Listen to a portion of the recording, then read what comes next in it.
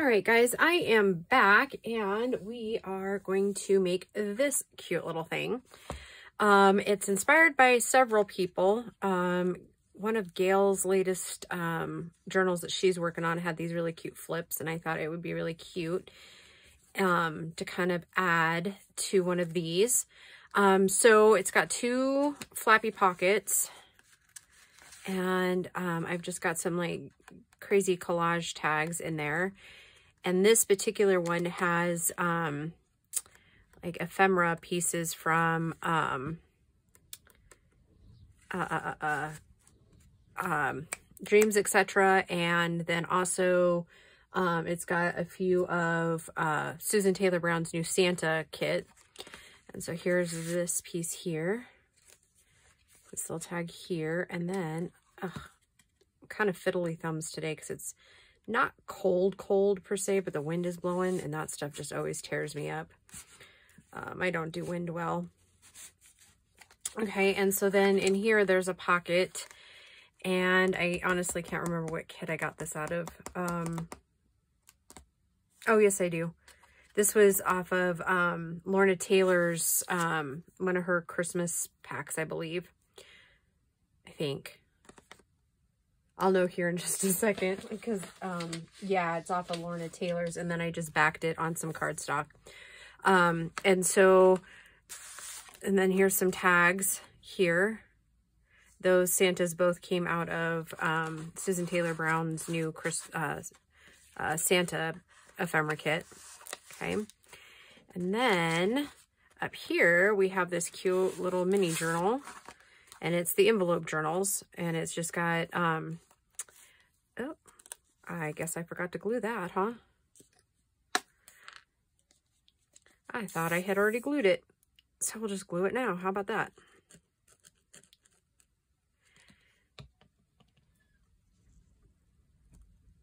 All right, so well, there's that. um, so it's just very simple. Um, I've done it, it's very similar to the um, little Halloween journal we made. And um, there's a journal card in here. And then, then in here is just a little pocket here with some little ephemera here and a tag up here. And then the little tag here, card, I guess, and a tag up here. And so then the inside has pretty much been left. Oh, and then there's a little journaling card that slides out here.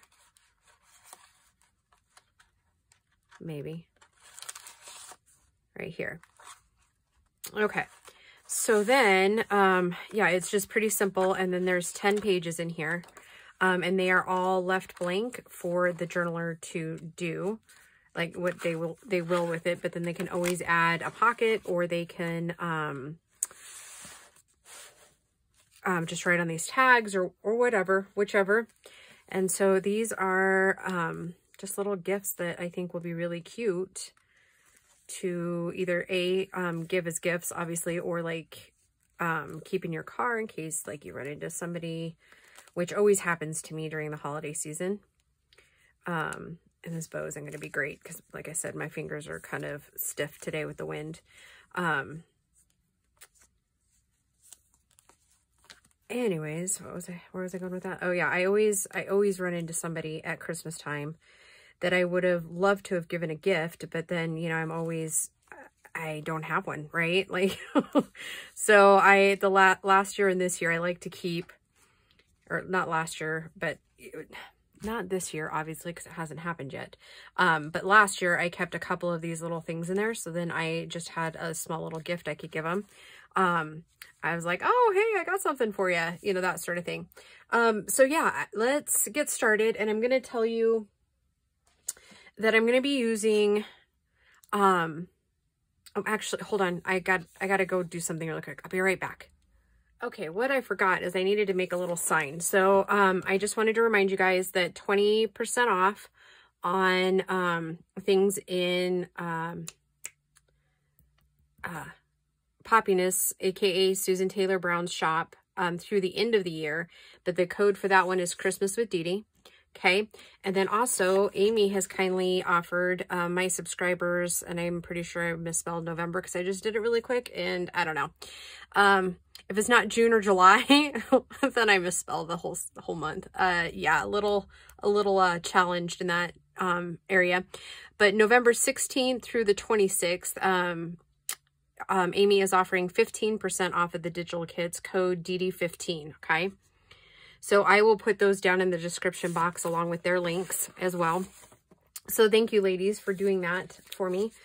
And so these projects that are coming up, I just wanted to show you because I've showed you um, uh, Susan's kits. And I'll show you some of the ones that I'm using um, of Amy's and then some of the ones I'm using with Lorna.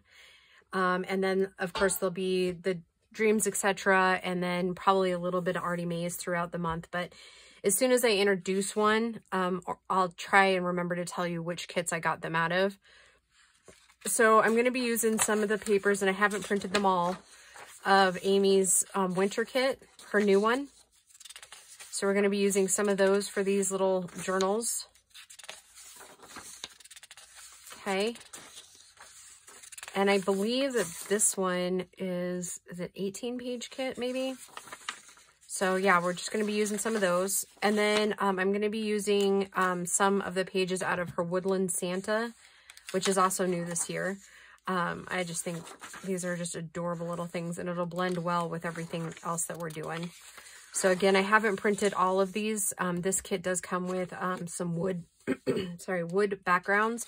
Those are pretty nice too, but they don't really fit the projects that I'm doing right this second. So, but I do think I'll end up doing a journal out of those. So yeah, it's a very, very nice kit. Oh, and then, um, uh, um, Amy also has another new kit and I have it printed. I just didn't bring it back because that'll be for ephemera later.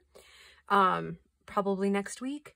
Um, and it's got all kinds of uh, the more popular backgrounds that she has, and they are ready for the, I think she calls them A11 envelopes. So we're going to play a little bit with those um, probably next week. all right, and so then um, the kits of Lorna's I'm going to primarily be using is um, her German ephemera, Christmas ephemera. And then I'm going to be using, and I've already used some of it, so I can't show you the full pages yet. Uh, or again, I mean, I'll probably print them again, but um, her Christmas wrapping paper, um, I've printed a couple of sheets of that. So I'll be using some of that. And then I've also printed um, some of um, Lorna Taylor's um, uh, Christmas music kit. Um, it's an interesting kit. It has all kinds of different sizes of music. And I was hoping to, like it's in, um, oh, maybe, what did I do with that other sheet of paper? All right, so anyways, um, some of them come like in 5 by 7 size, and then some are like um, ATC size, so very cool. So we'll be playing with those. Um, so yeah, let's get kind of started, and we'll at least make the basics today and then um, we'll see how far we get, and then we will, um, oh, and I made a bunch, I need to make more, um, I made a bunch of just like random size cards and tags out of my scraps, and I still am choking on scraps, and I still have these, I made 19 sheets of these guys, that's how many that's how many your girls got of scraps. And like I said, my bag is still full of little scraps. So yeah, I'm going to be gluing for a long, long time. Okay, so this is what we're making. So I'm going to have to bring my cutter over and it's big. So yeah, we're just going to have to kind of fake it till we make it here. Okay, so um, you're going to need this file folder. And when I give you these measurements, it's the folder is folded in half, okay? So leave it folded in half. Um, we need seven inches wide. But, and keep this for a second. And then we need seven and a half in seven and a half in, inches tall. Okay. Okay. And then just set these aside really quick. Right. That was seven and a half. Yeah, okay. And then this piece, you're going to need, oh, no, right. Okay, so and then one more piece, and we're going to take it three inches. Okay. And then, then um, I'm assuming you guys are going to have these flaps right here, and this is where it's going to vary just a little bit with what you have. Normally, I've been cutting them at four and a, or I'm sorry, eight and a quarter, okay? I hope that this is even in, in film for you. And you just want a straight edge, okay? Okay, then we're done with the cutter for a minute. So then with this piece here, you're just going to take that original folder fold line, kind of get it good, and then you're just going to tear it apart like so. Okay. And then I've been freehanding it. And sorry, you guys are probably going, boy, that shirt of hers is really ratty. And you would be right, but it has special meaning that I'll tell you about in just a minute. Okay, so then I just take the folder score line on that piece like that and just score that top line to give myself a flap there. And then I just take this piece and bring it almost to that first crease there. And then I just kind of line it up and I just crease it down, take my bone folder, and voila, we have that. Okay, on this piece, I'm going to go ahead and just kind of eyeball it up. Um, mine end up usually being in between three quarters of an inch and an inch. Okay, like so. And then again, I take this and bring it up like that, almost meeting that edge, but not quite, okay? And then I just crease that down like so. Okay, and then I'm going to set these aside for a second. And then you're going to need your scoreboard or however you usually score. And then we're going to score at half an inch on each side. So it would be scored at six and a half. Boy, that's pretty dirty and ugly looking, huh? And since I'm doing double thickness, I usually go just a little bit firmer on the pressure.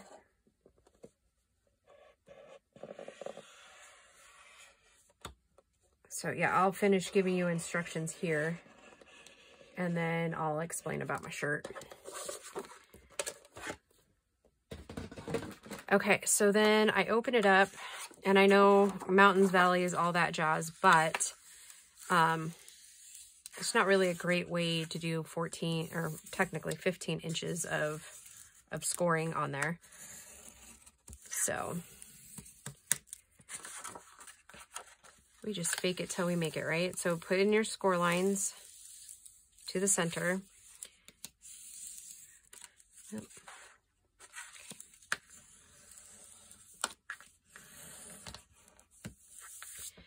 Okay, so then what I'm going to do is take right, right about, you want this part, your rivet part, or um, your previously scored part, you want to put that one to the front of your project. Okay, so I'm going to just take that first little score line, kind of miter in, and then I'm going to take this part up. All this light, I apologize, it's kind of hard for me to see score marks. So make it as straight as you possibly can. If you're really good at and have one of those slider cutters, that would probably work even better. So again, I'm just going to miter in that score, score mark and take, take it up. I'm totally missing that score mark, I think.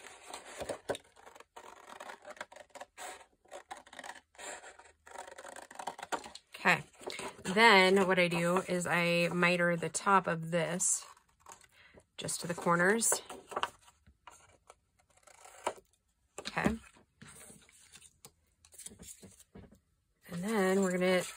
kind of fold it back in again, miter them down just a little bit again. Make sure they're good and crisp. And then we just fold it up. And I just, before I glue, I just kind of make sure it looks all right. Okay, pretty good. And I, oh, I cleaned my glue, so we should, shouldn't be having too many issues. I say that and then, you know, I'll leave it off again and then, you know, it goes from bad to worse, right? We're just going to glue this here.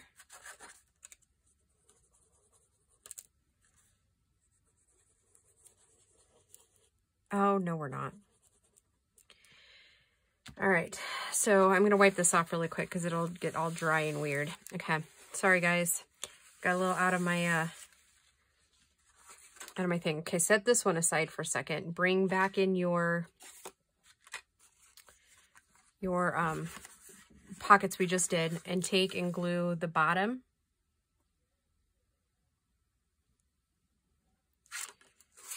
and then this little side here because we're going to glue it in there and make a pocket, okay?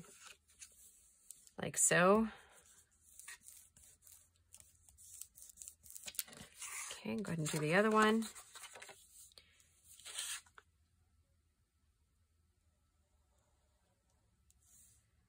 And it doesn't look like it's a glue straight kind of day.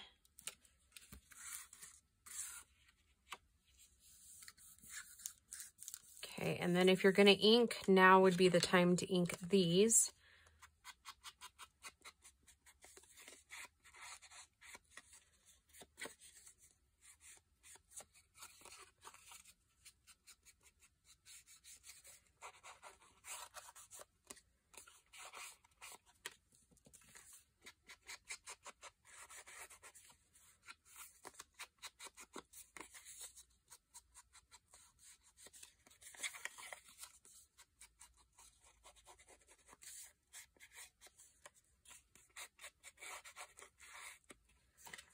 Okay, now we pull this back in.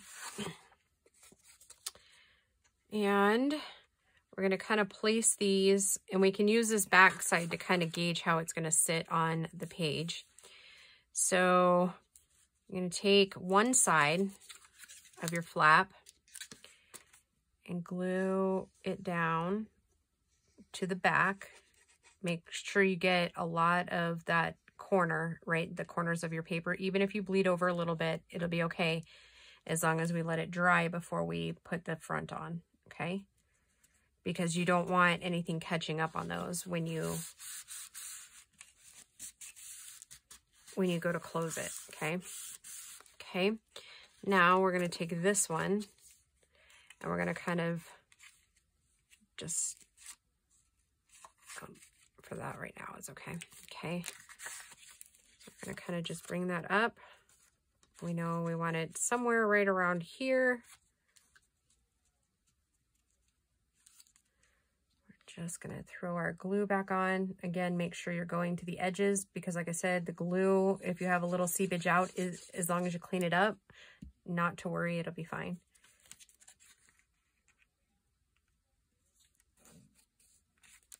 Okay. Because what you don't want to have happen is when you go to stick stuff in your pocket, you don't want it catching up on those corners, okay? Which I'm going to go ahead and get that one down just a little bit more. Okay, now, now we want to take this up, glue that, and really make sure when you're at the top of your pocket, make sure you hit these corners up here quite a bit so that it gives it an even amount of, of gluish loveliness so it really sticks down into those corners. Okay, so then this pops over in this direction.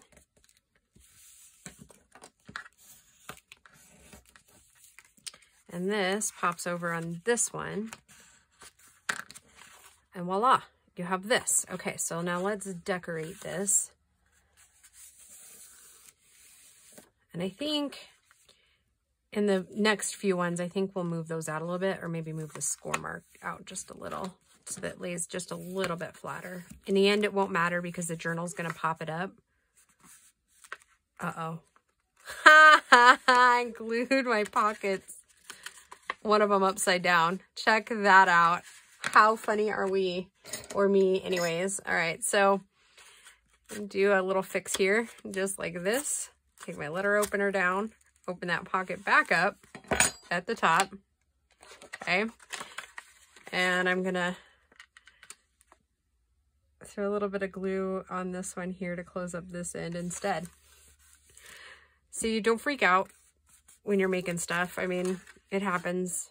And there's always usually a quick fix if you just don't get overly worked up about it. All right, now while I decide which paper we're going to do these in, I'll tell you about my shirt. Um, this shirt was my grandfather's shirt, and he died um, back in 93. And um, it was like one of the things I got from my grandma that was his. And so um, I'm obviously, it's getting threadbare, but I'm not going to throw it out. Um, once upon a time, I had a red one. Um, but I have since, through all the moves that we've done, it has come up missing. Um, I have no idea where it actually ended up. So, which makes me really sad, Um, because um, it's probably in near new condition still.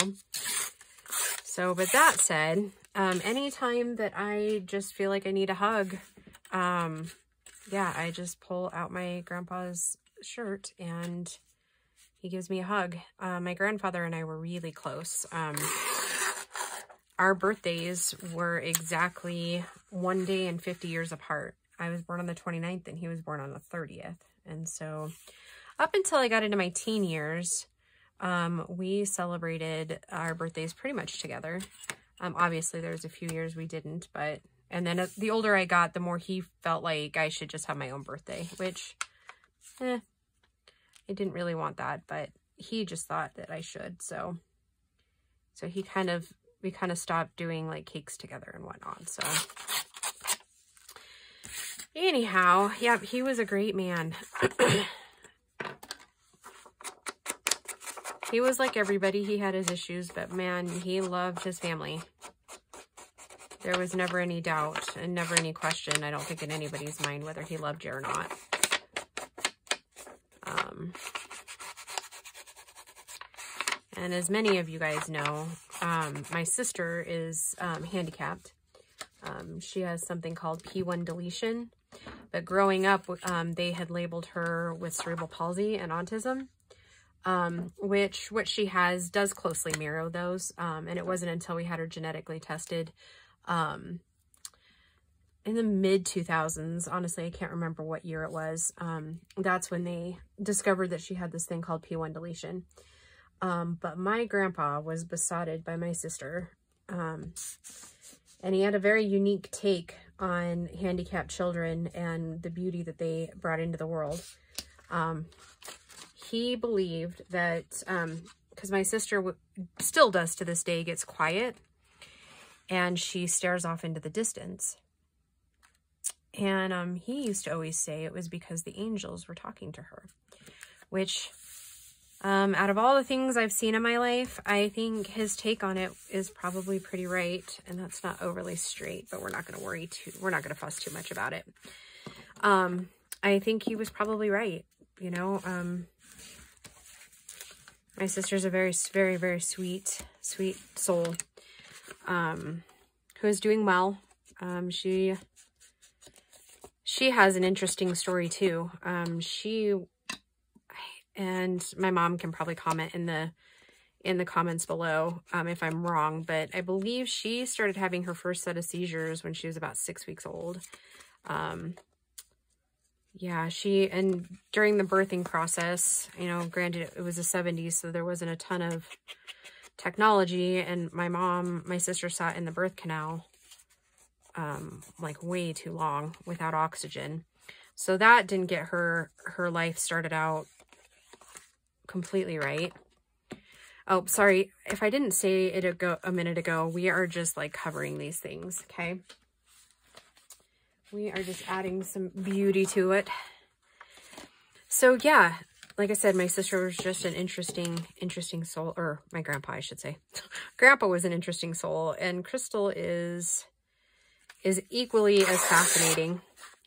Um, she's in what we call now a, a host home, and her caregiver is amazing. She is like, my sister has made like leaps and bounds progress um, in the world.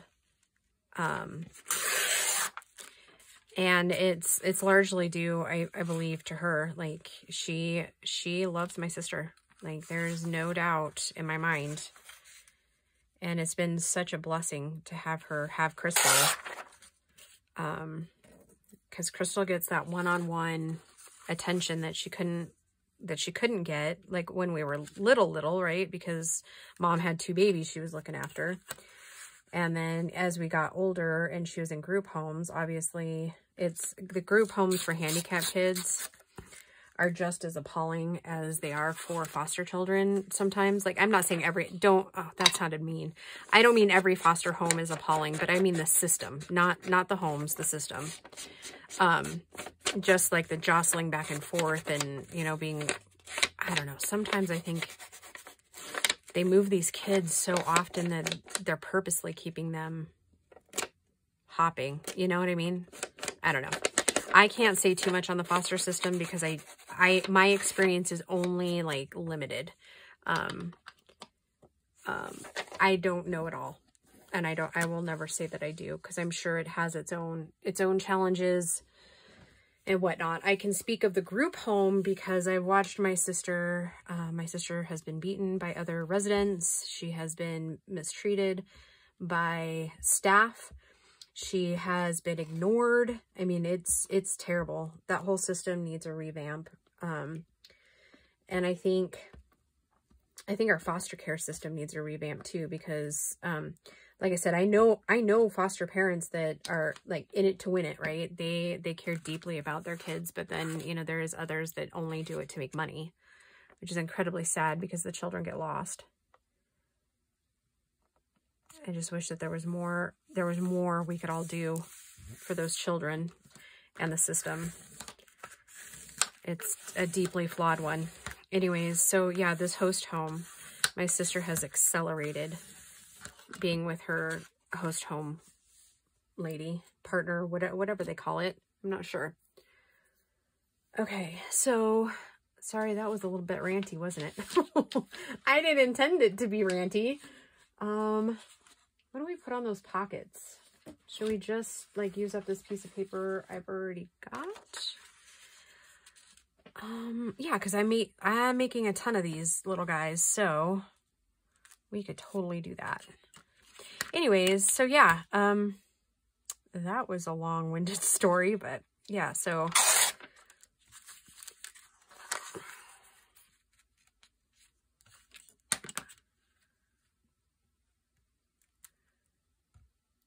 So yeah, um, yeah, my, like I said, my grandpa had an interesting take on life. And, um, he never ceased to amaze people with his, his kindness. Like he, he too was just a gentle soul. And he died actually very, very young. And back then, like they were just finding out about, oh, that's way too small okay, they were just really kind of doing research on like um, pancreatic cancer. And so I know a lot of cases now it's still fatal. Um, and his obviously was, um, and they didn't really call it pancreatic cancer back then. I forgot what they said it was, but basically that's what it was. Um, and I don't know if my grandparents just said that he had issues with his pancreas so that us grandkids didn't like worry. Like, you know, because even even back in the 90s, obviously cancer was still a really scary word, and it, it still is. But, um, you know, the doctor, when he had his first pancreatic attack, um, he nearly died. He's, I think he spent like some crazy amount, like 40 days in the hospital. Um, so maybe it was 30. I can't remember. That was a, that was a long time ago, but it was a long time. And so um, he had gone misdiagnosed for a long, long time. And um, even his primary care doctor was like, yep, I missed it because he had kept having pains and whatnot. And so, yeah, I don't know. I don't, I haven't done much research on the pancreatic cancer bit, but it's not, it's not pretty. he did manage after his pancreatic can uh, attack, his first one, to, um, oh, I know what they said. They said he had spots on his pancreas, which, I mean, now we know spots really means cancer, right? Um, and so I don't know, like I said, I don't know if that was said spots as in, so it didn't freak out the grandkids with the cancer word. I don't know. I guess I never thought to ask. I think I just, um, the older I get, obviously I know what that, what that is now. So anyways, he managed to live another two years, um, which, you know, was a beautiful thing. Um, you know, I, I know that he probably lived in pain, but yeah, he did finally pass away at home in peace. His last few days on earth were beautiful and um, it was it was a surprise right? Like i mean i think we all kind of knew he was living on borrowed time. Um but at 16 almost 17 you know i didn't realize that the last time we would ever talk would be father's day which and then he died july 5th so you never really know that it's the last time you talk to somebody which you know you always have regrets about not going and seeing them. Because um, 4th of July weekend, I was supposed to stop in and say hi. But, you know, in, in a way, I'm kind of glad I didn't because the timeline of when he died and the timeline of when I was supposed to stop in and see him would have been pretty close. So it would have been cutting it close. But then you always wonder, well, if I had stopped in, would it have changed anything? Would I have woken him up and, you know, but I mean, it is what it is, right? when it's your time, it's your time, right? I believe that anyways. I believe we all have a rhyme and a reason for being where we are when we're when we're there.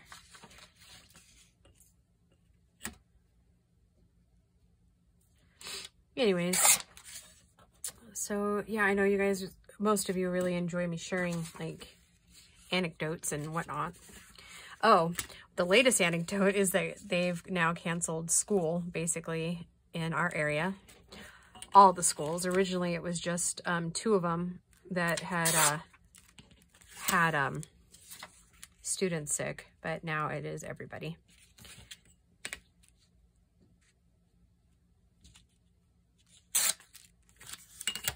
So this is actually kind of a fun little project. Um, you could absolutely use your scraps that we have been building out of the um, 3 and 15.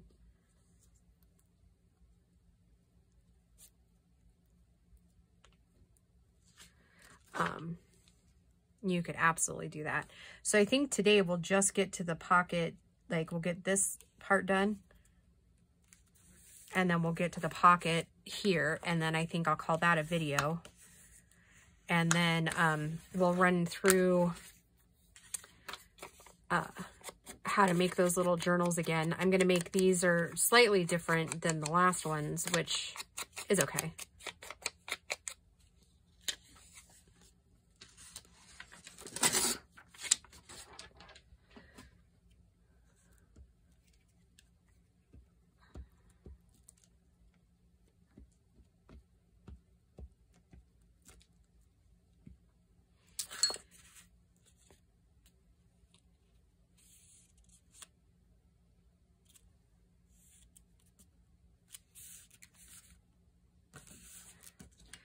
Okay, now we got to decide what we're going to use for the pocket. Do we just keep using like the piece that I had last time?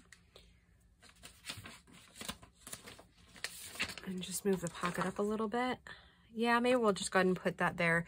Okay, I've, I've got to remeasure this pocket because I don't remember what it was then. I need inches, not centimeters. My brain doesn't work that way. So I made it five and a half by four. So let's make sure five and a half by four will fit here. Yep, it'll fit. So then what I'm going to do is just take some of this extra scraps that I have over here of cardstock, hopefully. That one's not quite that, but does it matter? I don't think it matters. Because I think I would rather use up scraps than I would have a ton of extra cut pieces. Okay, So then I'm going to take this and I want this one here. So I'm to take my Fabri-Tac,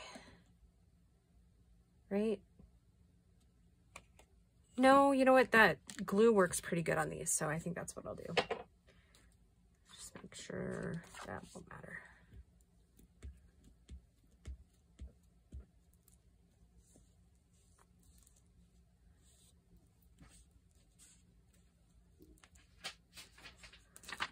Oh, and the kittens are in here playing. And flip it over and I can see where I've already kind of, where it is. So I'm just gonna lay it down there.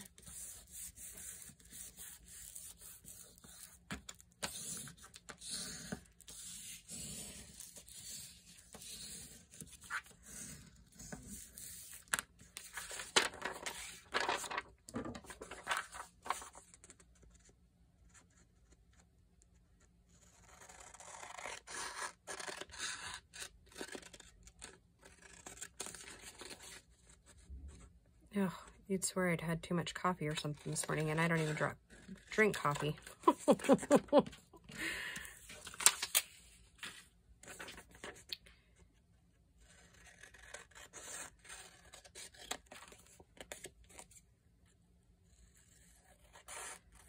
I mean, I do drink caffeine. I drink um, a tea that I just love. It's good stuff. Okay.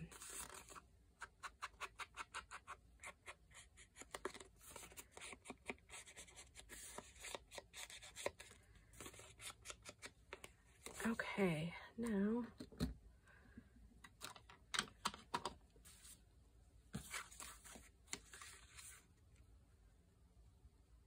Okay, looks cute, looks cute.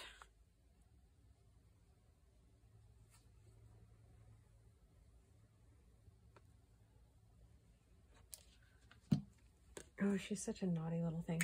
Get out of there. Faith, get out of there.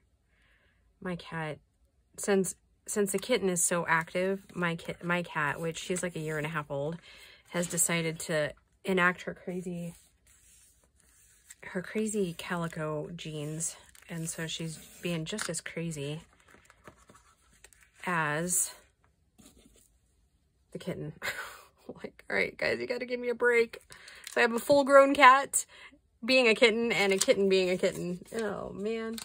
They do drive me crazy sometimes, but they're super cute. So, all right, guys, I'm going to include, um, call that good for this video. I have no idea how long it is. Um, and then when we come back, we'll make the journal and then we'll decorate this and throw in our tags and then um, put our ribbon on and call it a cute little Christmas gift. All right, guys, see you soon. Bye.